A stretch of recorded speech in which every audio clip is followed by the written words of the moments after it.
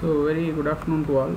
Uh, when you see resonance converter, uh, the important questions which may come is like what is uh, some normal they will ask about what is resonance, resonance converter and all. Then quasi resonance converter. In this quasi there is like half wave and full wave. And then last topic is multi resonance converter. So today let us discuss about quasi resonance converter. So just a recap why we are going for uh, resonance is uh, we try to bring your voltage and current to zero and then try to do switching. So in normal classical switching what we will do we will suddenly turn on or turn off. What happens is uh, when voltage is in c uh, this graph is voltage this graph is voltage and this is about current see whenever you turn on what happens is voltage has to come to zero and current has to increase. See when semiconductor devices is brought to on state which means between the say let us take MOSFET. Uh, MOSFET you have uh, source drain and gate. Uh, when you give a gate pulse what happens to the source to drain? Source to drain it is short. So source to drain is short uh, current starts to flow. So what it mean? Voltage has to come to zero when you turn on. So voltage has to come to zero and simultaneously current has to come to its maximum. But there is a situation where there is simultaneous existence of both v and i across the device. I am not talking with respect to load and all. Inside that semiconductor devices at some part you will have v as well as i. And this is nothing but is going to create a loss. What type of loss? It is in the form of heat. In heat in the form of semiconductor devices. Already the fellow is semiconductor is not a pure conductor.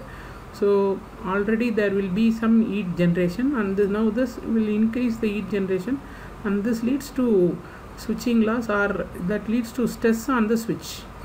Okay so now our motive is uh, you should turn on and turn off when this fellow is coming to zero. So if it is coming to zero and if you turn on or turn off if you do such things uh, one fellow will be in zero. See for example turn on. In this turn on condition when you bring this voltage to zero and then you are making the current to start what happens is that simultaneous existence of E and I will not be there. So that is what why we go for uh, resonance. That is the main motive. Then resonance switching. Add resonance component to the switch which means uh, normally you have a switch. Now you try to bring your resonance component resonance component is nothing but one L and one C. So L suffix R is R is denoting resonance and in case of C uh, R is again de- denoting your resonance. We all know inductor should be in series capacitor should be in parallel. When you put an inductor and try to do something we call it as ZC and this we call it as ZV okay? And we with the help of this two fellow I am trying to force the switch to turn on and turn off under either zero current or zero voltage based on the resonance. It may be zero current resonance or zero voltage resonance. Okay now there is something called half wave and full wave. Half wave is see switch and diode are in the same direction of conduction. So only one direction is possible. Thereby we declare the name called half wave. But when you connect an anti-parallel diode in this case what happens normal conduction is this and reverse so both wave we try to go for resonance. So that is called half wave and full wave. When you come to this quasi comment is not a complete resonance cycle. So resonance cycle will not be a complete it will be for only one off. So that is why we call it as quasi. It is not full resonance. Resonance is only for particular cycle. And type you have both zero current switching and zero voltage switching.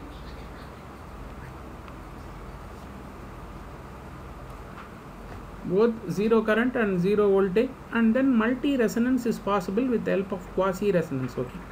Other two we doesn't want we just leave. That is like load resonance and series transition that we have already seen in last class. Now zero current switching quasi resonance buck converter uh, you should always remember what is the difference between a, buck converter and a boost converter in a boost conductor this inductor will be here switch will be here and the diode will be here. I repeat in the position of switch there should be an inductor. In the position of diode there should be a switch. And in the position of L there should be a diode. If you draw the circuit like that then automatically it will become boost see try to understand and uh, try to apply. So when you try to understand there is no need to mug up and all. So the basic fellow is here we call it as buck. So there should be no fellow who is going to charge and make it as double. Whereas in case of boost you can see here this is v in. Here you will have an inductor here you will have a switch. So when switch is on supply will go to inductor and this path will get closed so now again when the switch is opened here only you will have switch. If switch is opened, this v in plus inductor will move. Whereas in this case you can clearly see that this V in. When you switch on when you switch on from here v goes to inductor and then try to charge. That's all. When the switch is off there is no source at all. Only freewheeling has to take place. So I cannot go beyond the input. So that is called as buck. Okay now uh, this is a normal circuit. Here I am going to add a resonance fellows. All this resonance fellow is nothing but an L and C. You can clearly see from the switch I have put an L. This is a resonance inductor and similarly I have put an capacitor here that I am calling as resonance capacitor remaining part is same. Okay add a resonance inductor LR in series. See always I have told LR will be in series LC will be in parallel. Okay now you have uh, four modes of operation. So that is what we have to say. So one is called linear state another one is called resonance state then you have recovery state and the last one is freewheeling. I think we all know what is meant by freewheeling. Uh, see freewheeling is uh, there is no input only what is stored will be given to your output. So even in your car uh, when you give an acceleration and you, your vehicle starts to pick up speed even then if you have taken leg from your uh, accelerator car will try to run. This is because it has gained a momentum. That gained momentum see best example uh, some way also I can prove. Uh, so take two object uh, go to an height uh, from that particular position try to hit the two object. One object let us assume 4 kg. Another object let us assume 40 kg. Uh, from the same height with the same force. See what the force I am giving to 4 kg the same force I am giving to 40 kg also uh, which will travel more distance. Any idea? Whether 4 kg or 40 kg will travel more distance. The answer is 40 kg will travel more distance because acceleration is equal to mass into moment so moment I told for both I am giving same moment but what happens is mass there is variation. So mass into moment becomes acceleration so the fellow who is having more mass will travel more. Same case depending upon this value of f the freewheeling will be there. Okay? So freewheeling action you can clearly see that this part is totally open. So nothing from v in will go here. So if there is nothing traveling from here to this part so only by the capacitance this resonance capacitance charging and this charged resonance capacitance will try to uh, discharge via this uh, filter capacitance and filter inductance. Sorry. So that is freewheeling. And the linear state you are just closing the switch. Uh, this this state is also a, there is no thing special thing. Just you close these two inductors and capacitor come into picture. And there is a literal short here. Short is nothing but due to short in diode. So this path alone will be there. This path will not be there. That is linear state then resonance. Resonance state I have to do something and I have to make the switch to off. So this resonance state only I am I have to make this L, uh, L and CR to a charge to a particular frequency and this fellow will try to initially it will first open this diode then it will try to oppose uh, opposite polarity and try to bring your voltage or current to zero whether it will be yes uh, ZV or ZC depending upon it will bring either voltage or current across the switch. Try to remember resonance is not playing anything with respect to load. Here we have seen resonance with respect to switch. Our case is only switching res quasi resonance we doesn't go for load we doesn't talk there. Okay? So that we will try to do and we will try to make this fellow off. So recovery state once the switch is off something is going to take place is recovery this fellow inductor will again will not come into picture only this c will come into picture.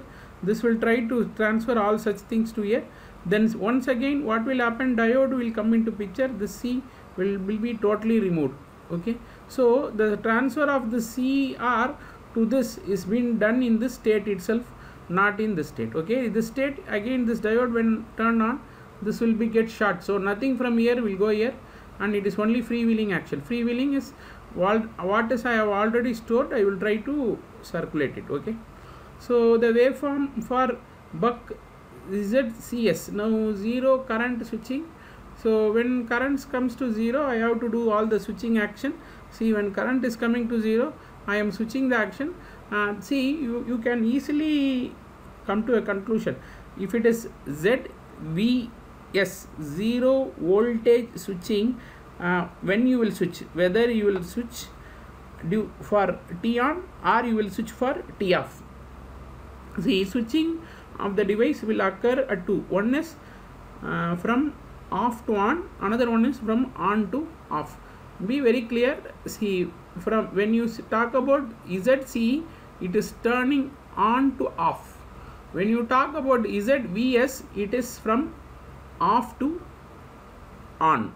Okay so when you say on to off see current i try to bring the current to zero then i try to bring this condition. At this condition only i am trying to do the operation switching.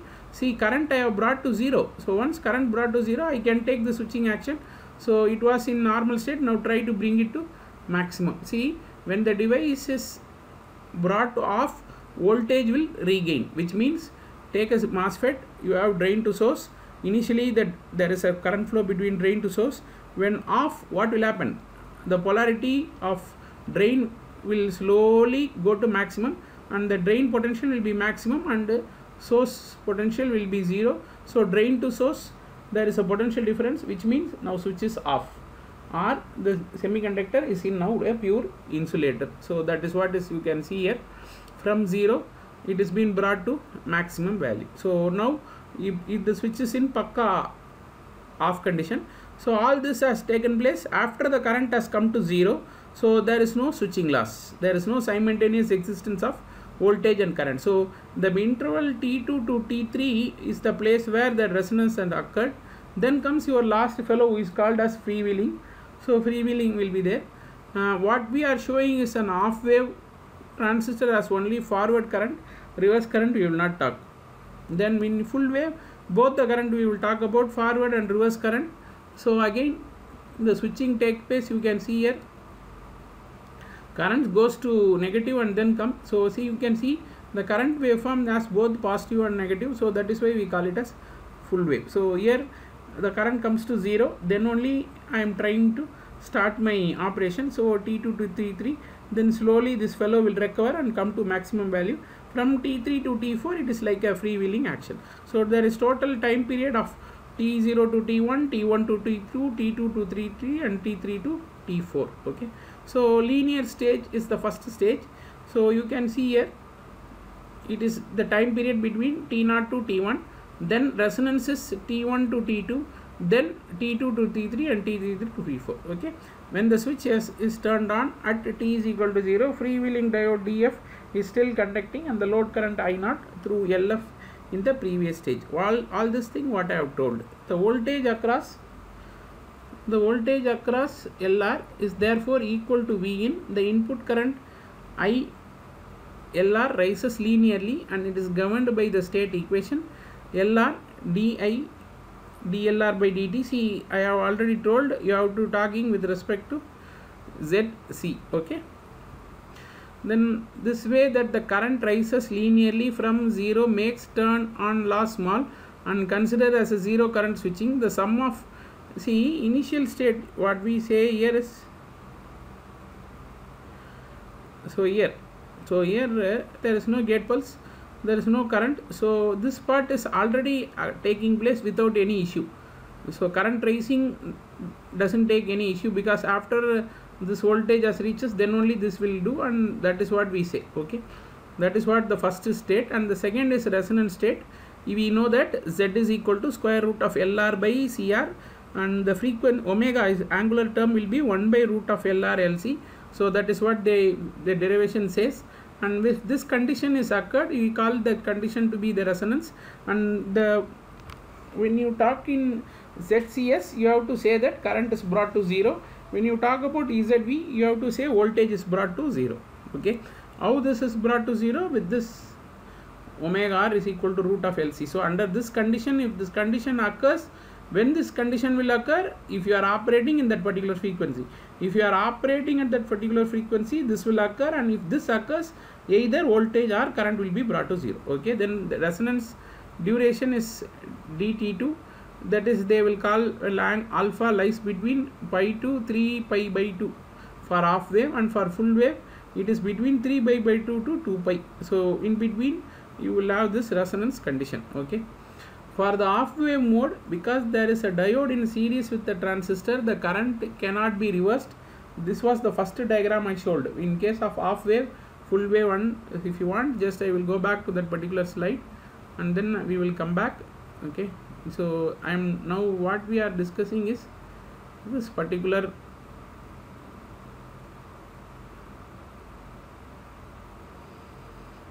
so this we are saying this is in series and this is in parallel. So that is what they say here.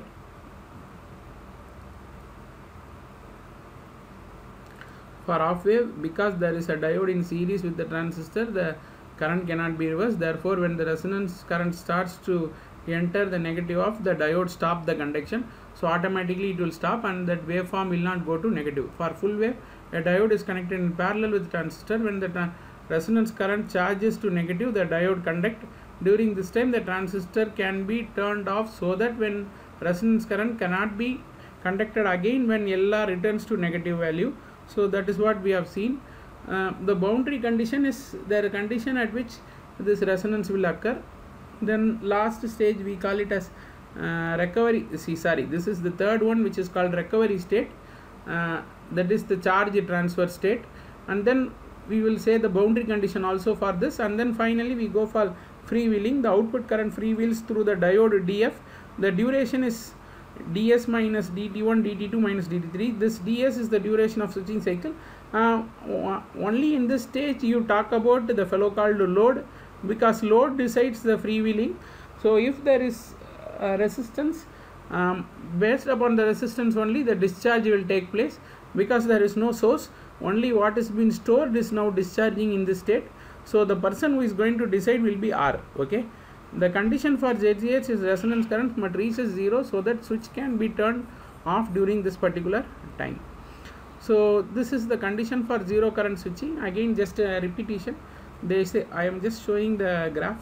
So when this current comes to zero, your voltage starts to rise and then your output also will be in such a case that no, this is slowly it will reach and it reaches the maximum value.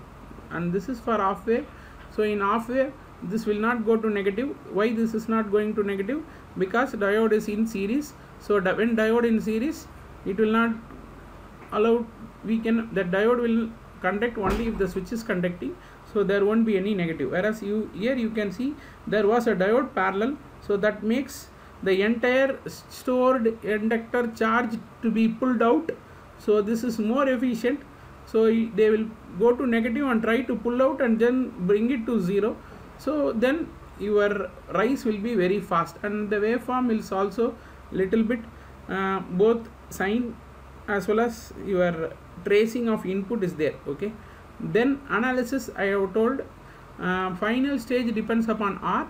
So for various r you, there will be the graph will change. So that is what we say. Then the output voltage this is just the same. We have just copied and we are showing it. So this is with respect to full wave. And the instant when current 0 the voltage is also 0 both the fellows are 0 current as well as voltage. So you can go for your action. That is there won't be any switching loss. Conclusion the buck zcs quasi resonant converter is one of the famous resonant converter for many power conversion application. Uh, you should come to know why I am saying buck is. Uh, we are going for only power electronics. In power electronics you use buck or boost converter maximum. Okay other converters is is only a slight change. When you say buck boost it will operate both in buck as well as in boost flyback similarly. Then Cuk similarly. Sepic is also similar okay? So Cuk sepic and buck boost all these three converters either it can be operated in buck mode or it can be operated in boost mode. So when you un- clearly understand about buck and boost then the remaining all converters it is a combination of these two converter alone. Combination of buck converter and boost converter okay? Now I, I will just show for the boost converter also. So this is a boost converter. Uh, now don't confuse with this diode. I am voluntarily putting this diode here just to say that uh, if there is some resonances occurring there is a chance for reverse flow to the source and that should not occur. So reverse flow to the source we will not allow. And especially if you are giving input from solar then if there is any reverse flow to the solar panel again it will be generated in form of heat because solar panel is nothing but a diode connected in forward bias so assume that when solar panel you have a diode like this in forward bias and if there is any reverse flow what will happen? Now that that solar panel will become reverse bias and this reverse flowing will try to eat your diode and that may if it is prolonging then it will may damage. So wherever uh, you see any paper on solar this diode will be there. Okay they call this diode just for the protection purpose. So don't misguide with this. Now our part is only with respect to this and the diagram which i have shown here is for full wave okay? Quasi with the full wave. So similarly we are showing here the similar waveform and here also you have four intervals. So interval 1 uh, interval 2 interval 3 and interval 4 so interval 1 similar way the name you can give the same name it is linear here. You can see here there is no nothing like any special only linear action is taking place. Then what we have seen interval 2 is the resonance fellow will come into picture. So lr and cr will come into picture. These two will play in resonance. And the third one is recovery. So recovery uh, the, we will transfer something to the final fellow. From the cr we are transferring so even for buck you can draw the simplified circuit like this or you circuit with respect to explaining the circuit of the setup. So this is a simple way of right see what i have explained above the same. Okay interval interval 3 what we told recovery. What mean by recovery? Uh, from what the cr that has to be transferred to the load. And final stage no need to show any circuit because there is no nothing from source nothing from inductor it is only freewheeling is taking place. Freewheeling purely depends upon load that you have to understand. Uh, if a resistance is i which means freewheeling will take place for a shorter duration. If the diode sorry if the load resistance is small freewheeling will take for longer duration. Again based upon one more thing also it will be there like switching frequency. If you are operating at very high switching frequency then load will to the load it will not go to discontinuous mode. If the frequency is less it will go to discontinuous mode. Okay so that is what for today's um, just i will give uh, something a brief about uh, if we say this fellow is so good then why you want to put a next topic in the syllabus? The next topic in the syllabus which is given as uh, multi resonance uh, okay just i will give a clue. Uh, i have given a task for you the task says about your uh, assignment that you can do it on this weekend. That is nothing but uh, what is the problem with the quasi and how this quasi problem is been overcome. The problem of quasi is overcome by the fellow called multi resonance converter okay? So that is for today. Uh, just i just i will stop the video and then we will continue